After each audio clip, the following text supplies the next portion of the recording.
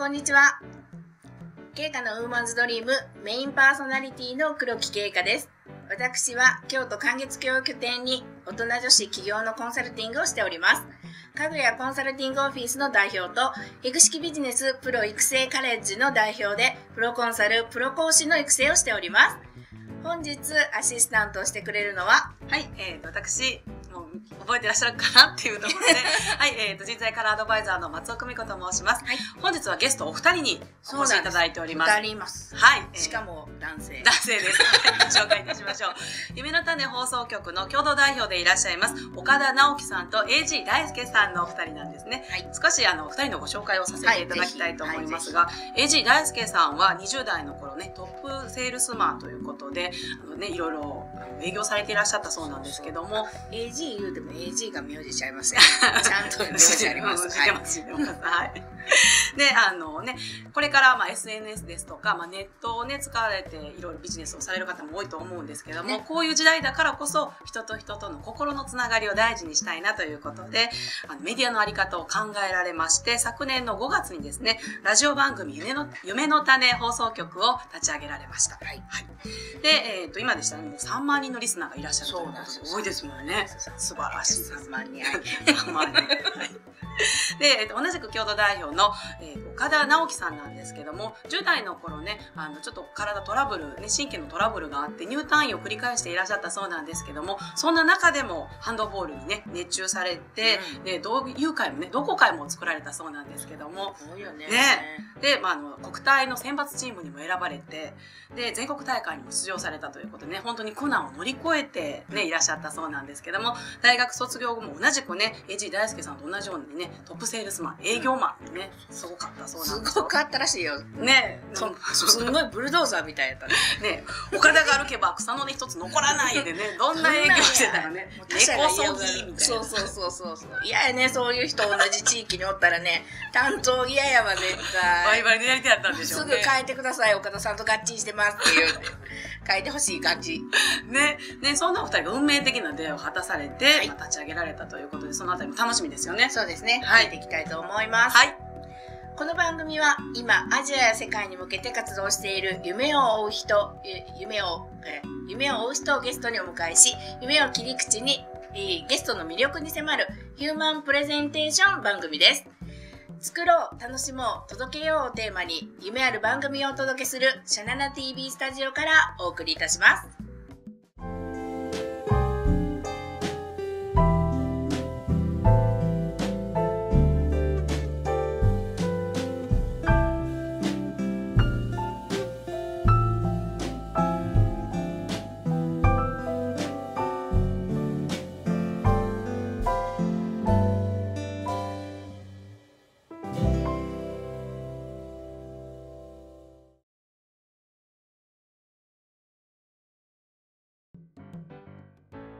はい。お迎えいたしました、お二人。いやーいやー誰かの真似やんこれいや誰かの真似やんこれパクってる。あかんパクってる。よろしくお願いします今日よはろしくお願いします。元気ですね。綺麗な人に囲まれるとテンション上がるよね。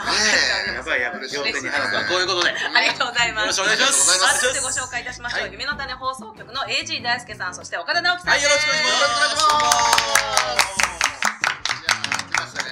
いやー来ましたねシャナナ TV シャー。ウーマンズドリーム。ドリーム。ありがとうございます。なんか今日この二人に引っ張っていってもらえそうな感じでうんうん言うてたら終わりそうやな、今日な。そうそう今日僕と直樹君のもねあはい。の目標はえーお二人が喋る前に喋らないっていう。ね はい。目標ね。ありが今とうございます。止めてね。止めて。頑張って頑張はいってはい喋りのプロのお二人ですか？そうらね。なんですよ。よろしくおね、願いしますよろしくお願いしま。ますすはい。もう早速ですけどもね、たくさん喋っていただきたいので、そうそう行きましょうか行き。ましょうか。はい、ね、あの、ウーマンズドリーム恒例。そうですね、もうお夢について話していただきたい番組なんで、そうなんです行きましょう。一発目です。はい、はいお二人にとってのね、夢とは何ですか？というところをね、ちょっとお聞かせていただきたいですけども。いいですねはい何じゃあ、どっちから行こうかな、大ちゃん。じゃんけんしようかじゃんけん、はい。あ、ほんなら、どっちがいい？あ俺が何のためにじゃんけんしたのまあ、じゃんけん意見あるいやいやいや。はいはいはいはい。ねまあまああれじゃないですか。負けた方が勝ちよ、うん。負けたが勝ちよ。その設定してなかったんでね。まあ夢もそういう定義って大事ですよね。定義でねじゃんけんも勝った方が先なのか。どっちがどうすることになどっちがるのかそうそうそうそう、うん夢もね人によって捉え方が違いますいろいろあるね。大ちゃんから行こうか。じゃあ僕から言いましょう ありがとうございます僕にとって夢なんですけども、あまずね素晴らしい番組に呼んでいただいてありがとうございます。あいえこちらこそありがとうございます。ねえーこう夢を語ってねあの行く番組って本当にいいなと思うんですけども、まあ、僕と直樹君もですねあの夢の種放送局というですね、えー人の夢を応援するラジオ局を運営させてもらっておりますんでねあこのようなね機会が本当にもう本当感謝です。で、えー僕にとって夢なんですけども、えー僕にとって夢はですね自分の限界をかっこいいこと言っていいですか？どうぞ。お自分の限界をですね突破するツールでございます。自分の限界を突破するツール。ツールですね。はい。はいかっこいいな。英語使ってみちゃったりしました。いいですねいいですね。ツールなんですね。そうですね。うんうん限界を喋ってるんですか？どうそうですね。だからやっぱね何もこう夢というかね北極星みたいなものがなかったらやっぱり自分の今のね枠組みでこう動くと思うんですけども、えーなんかこう夢っていうのをね、えー頭に描いた時にそれをこう叶えようと思ったら今の自分ではなかなかこうリソースが足りないなっていうのがありましてそれをですねやっぱどうやったらこう身につけていけるのかなとかすごい考えるので自分がこう進化していくんですね。でその夢に到達した頃にはなんか自分がなんかこうすごい成長してるね筋トレで言ったらこうムキ。ムきキってなってるようなうんなんかそのようなですね、えー自分にこう負荷を僕結構あの M なんで自分にこう 負荷をかけるようななんかそういうものですね例えばあの北極に行こうとか言ったら僕が今持ってる服では、うん。まあ、対応できなかったりだとか、えー自分が知ってるその飛行機とか移動手段ではどうやったら北海道あ北極に行けばいいのかってわからないんですけども、うん。そういうのをこう自分で調べたりとかしてたらね、えーすごいこう自分の幅も広がったりだとか、うん。今まで知らないことをね、えーいろいろ経験できる。そのためのなんか夢っていうのはなんかこう限界突破。今の自分では無理なことにこう向かっていくようなそんなツールなんじゃないかなと思い割とますね。無理無理って言われるようなことを割としようとするタイプそうなんですよ。あの前教えてもらったのがね、えーこれずっとやってるんですけどね、over promise、over deliver っていうのをね、先輩に教えていただきまして、えー大きな約束をしてそれを超えていくというね。あーかっこいいですね。うん。そしたらね、勝手にね、なんかこう、成長していくっていうのが自分の中にありまして、うん、だから、ちょっと大きなことを言ったり、ちょっと自分に負荷をかけたり、うん。まあ筋トレでも何でも一緒だと思うんですけども、うん。まあ、ちょっとこう無理なことをすることによって自分が活性化するっていうのが、うん。成長しないと叶えられないから成長していこうみたいなことになる。うーん。叶えられないってわけじゃないんだけども結構成長フェチでもあるし、成長フェチ。は変化成長そうですよそうね変化成長負荷かけるの嫌な人もいるもんそうね。やそうやい、そうそう。そう別にあのね、えーそれが嫌な人は嫌でいいんですけど、僕はたまたまそういう趣味でございまして、うん M ですもんね。はい、筋トレ。筋トレって僕となんかに連れて。るんですけどまあ筋肉痛もいいけど心肉痛もいい。筋肉痛で心の肉をですね。なるほどね。鍛えていって。造語。知らなかったね。初めて聞きましたそうそういうのがありますね、じゃあちょっとねあのちょっと突っ込みたいところもいろいろあるんですけどちょっと一回ねそうですね。さんのところもね聞きたいなとああもう今全部言われましたわもう。いやいやいや全部ごめん全部言ってもうた。ごめん全部言ってもうたそんなシンクロ？二人は。そうだあのー全部降りてきたもの一緒やでもいや結構ね定義でね夢とはとかね、僕昔もよく言われたんですよ。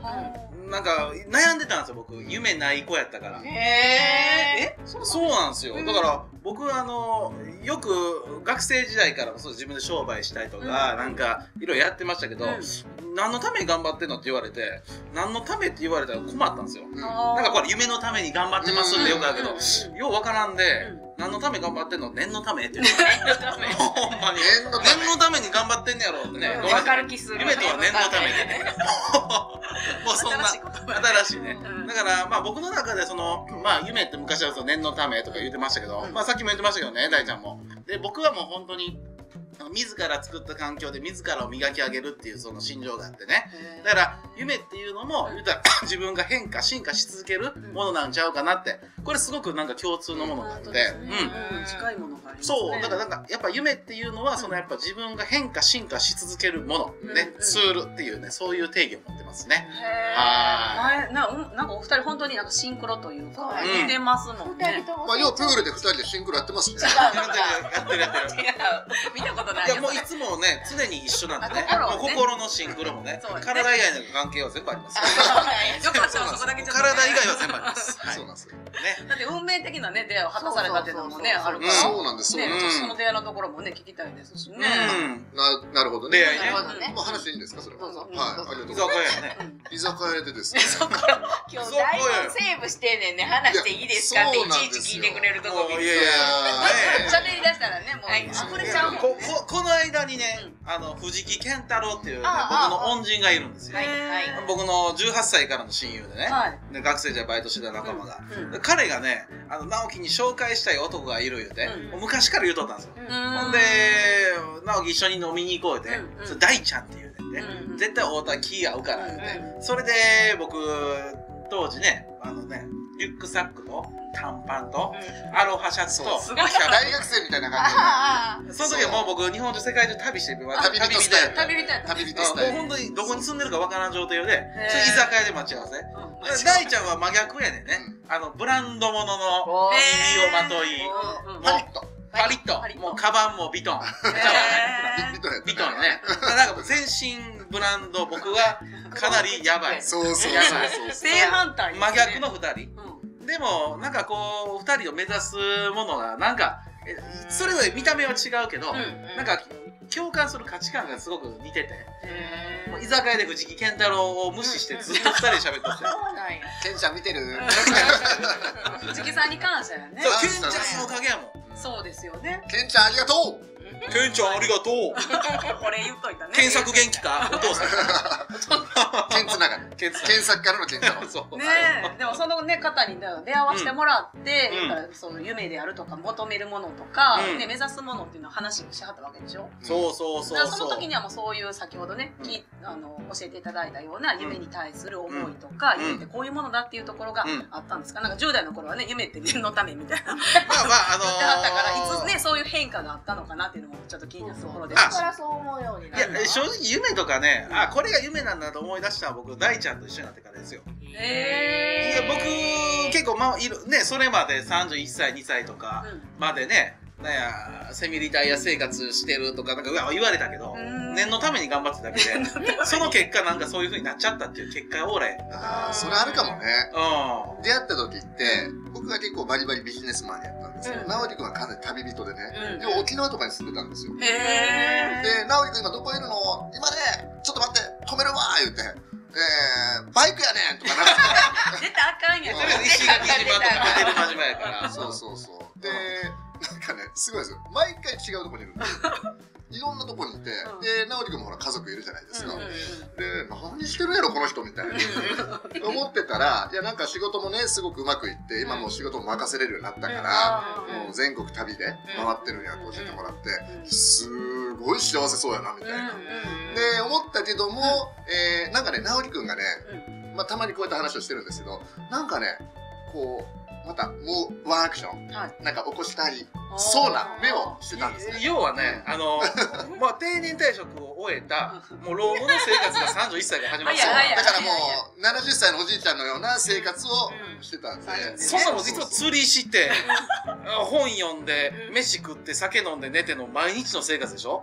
うん何も高速ないしうん。島でしょ？うんこれもうアホなるんちゃうかな思ってあー。なんかボーっとして。でもねいいいいよいね。い気を出してたよ。なんかもうハワイアンポリネシアンみたいな気を出してて。ん。なんかもう柔らか穏やかな。ね穏やかな、うん、だからねあのそういう生き方かっこいいなと思ってたんですよ、うん。でやってみたんですよ、うんそしたらどうやらうん。じっとしてられないっていうのが分かっで 動き回ってたんですね。て動き回ってね釣りしては釣った魚をねいと同じ民宿の大学生に料理してあげたりとか。俺何してんねやろと思って。全国の楽しいんやけど、ね、関西中の大学のん。そういう学食。うん。で、全国の学食ね。夢夢かなランチっていうのをねね。学生さんにこうどんどんレクチャーしたりだとか、学食全部回ったね。ね。すごいね。うん。それは何でやろうと思ったんですか？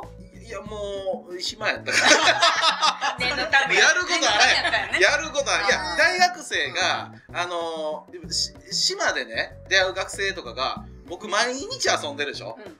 で、怪しい子供、もうねまあいてると。電車ごっこしてるとか。うんうん。でも何をしてるの？って言われた時に僕の生き方。うん。僕病さっきも言ってました。病気したでね病気してだけど部活頑張った、うん。部活頑張って全国出た。うん。でそしてあの社会人になってで、まあ、僕も入隊生活繰り返してましたから、うん。それまで自分で商売とか、なんか事業を起こしとかんと将来ちょっと僕やばいんちゃうのと、ね。会社でもいつかクビになるんちゃうかなと思ってたから、うん。それで会社員時代も自分で商売3つほどね事業をスタートさせて、はい。それでそれを人に任せれるようになったらもう言うたらもう時間とねうん。収益も発生するようになって、うん。うん。もう言うたら老後が始まったわけですよ。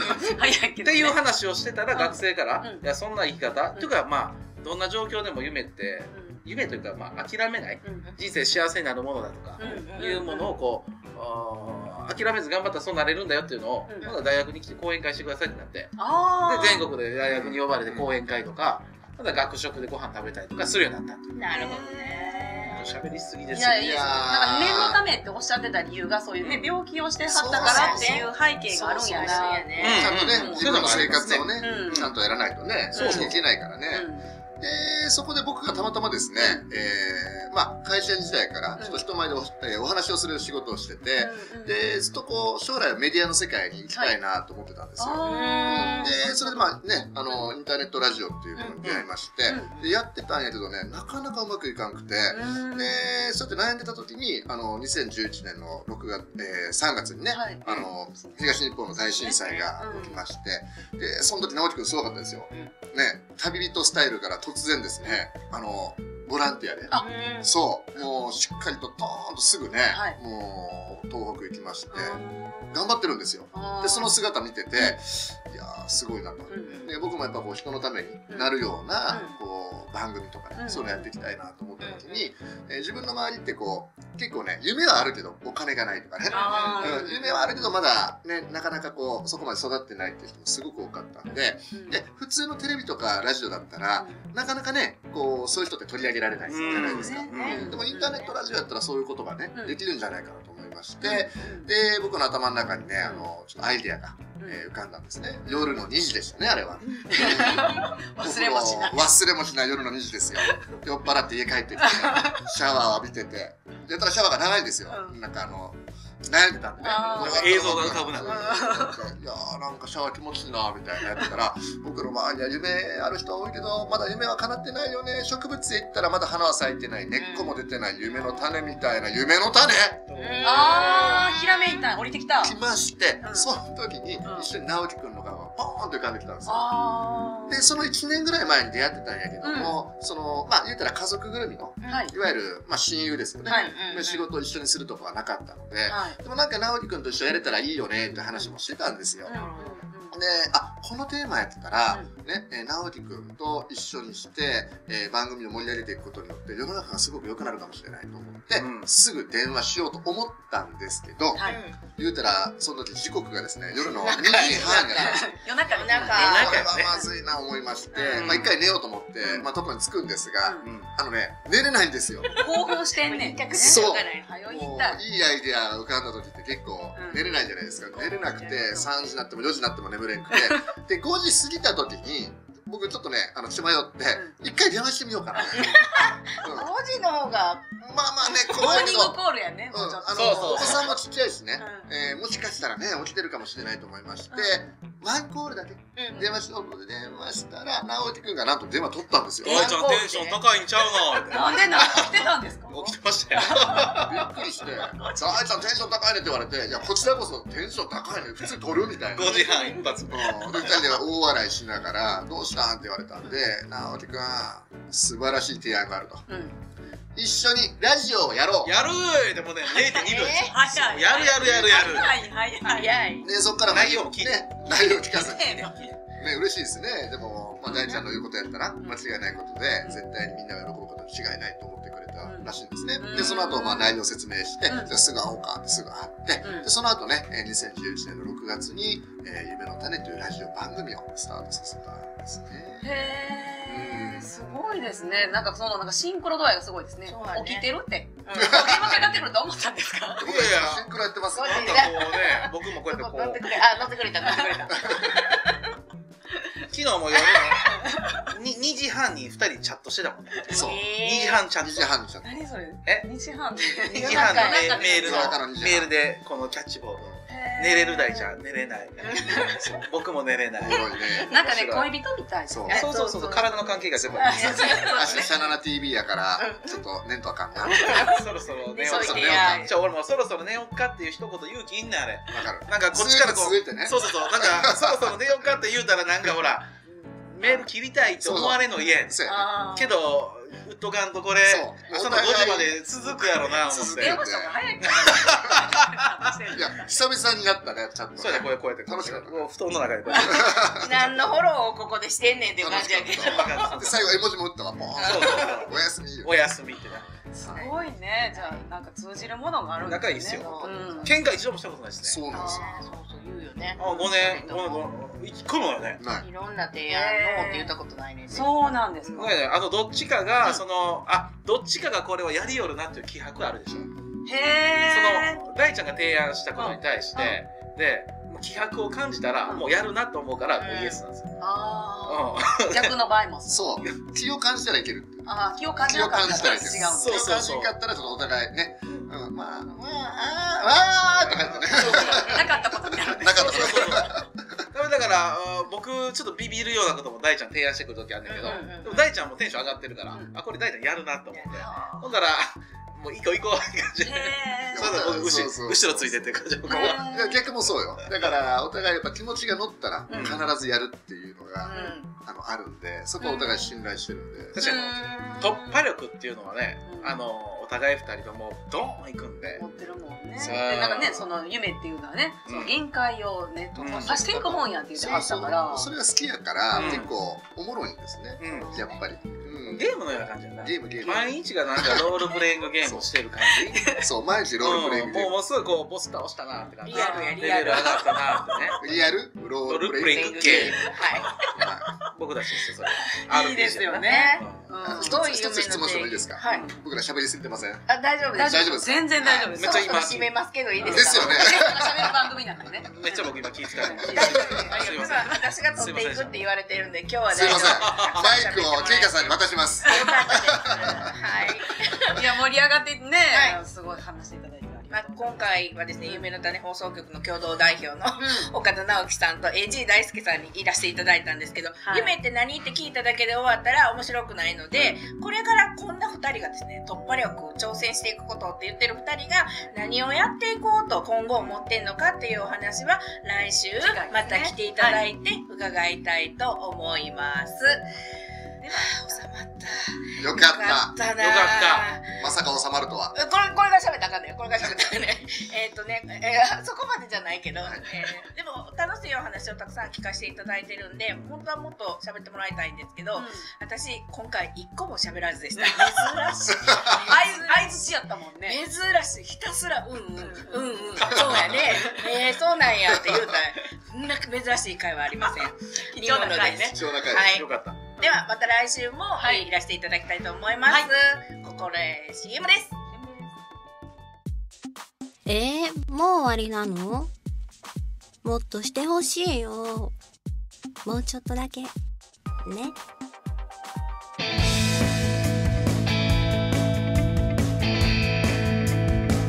耳元で囁くような声ってどう歌えばいいんだろう？先生知ってる？ちょっとやってみてもいい？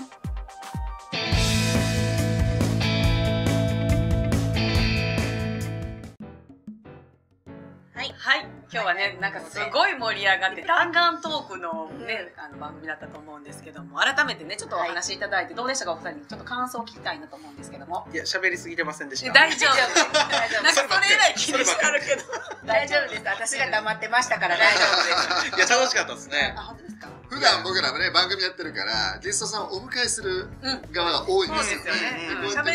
そうそうそうゲストさんとしてね読んでいただいてすごい感謝してます。ありがとうございます。ありがとうございます。ねねそんな二人からねちょっとね、うん告知というかそうそう。宣伝を教えていただければなという夢の種放送局っていう言葉がたくさん出てきてますけど、なんやねんっていう人もね多分いてはると思うから。そうですよね。えラジオ？ラジオ？なんか分からへんって言ってる人にご説明ねいらっしゃいますよね。お願いします。はい。もうあのスマートフォン一つもねあればね、えっ、と、夢の種放送局って、まあ、検索していただいたら、ホームページ出ます。ね、そのホームページ、ぜひね、あの、画面上のブックマークとか、あの、画面のね、あの、メモに追加しといてください。ボタン一つでもうね、ラジオ聞けますので。はい。で、えっ、と、夢の種放送局なんですけども、えー今全国にですね、えー今年はもう7拠点、えー大阪本社、岡山スタジオ、広島、愛媛、名古屋、東京、三重、忘れてないね。忘れてないね。OK です。はい。で、えー全国で今ね、現在300人のね、パーソナリティいます。で、各地域を盛り上げてくださってるね、素敵なね、いろんなパーソナリティいらっしゃいますのでね、その方々のですね、お声を聞いてください。でいろんな人たちが夢を応援してます。ね、一般の人たちが応援をするからこそ応援できる誰かがいるっていうことでね、そういう放送局になってますので、ぜひとも聞いてみてください。あとね、どうしても聞いてもらいたい番組があるんですよ。そうなんですよ。それもうね、今日僕、ね、その告知、そうでそす。の番組をですね、お伝えするために来たようなもんですね。はい。はい。はい。えー、毎週火曜日、はい15時からですね、ます。えー、ケイカのウーマンズドリーム、こちらあのラジオバージョンということでね、えー、放送されておりますので、ぜおひですね、えー、ラジオ、ね、えー、こちらシャナナ TV さんの、えー、テレビバージョンのはいウーマンズドリームを見てらっしゃる方もですね、はぜひあのラジオバージョンもぜひあの聞いていただきたいと思いますので、はいよろしくお願いします。ありがとうございます素晴らしい。パーソナリティすごいんですよ。ケイカさんっていうね、本当に素敵な。素晴らしい方なんですね。ありがとうございます。おお、ケイカさん、おーいらっしゃったよ。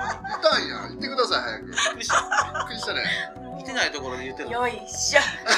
あげてもうた。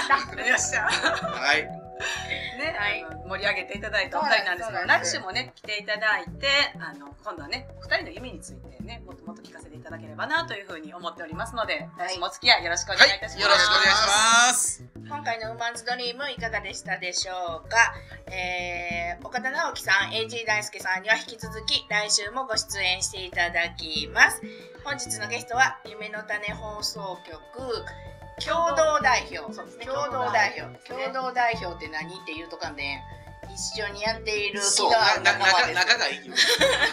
まあ、まあ、そのね、仲の良さは、もう、この番組でね。相方相方ですねあの2人がトップ2トップでやっている放送局っていう夢の種放送局私もあのパーソナリティやってます、えー火曜日15時聞いてくださいはい。ですごいもう本当に仲がいい、仲仲がいいだけじゃなくって、なんか通じ合ってるっていうのをね、あの、皆さんにお分かりいただいたな、いただけたのではないかなというふうに思っておりますので、で、こんなお二人にね、来ていただいて、さらにさらに話していただきたいなと思います。ありがとうございます。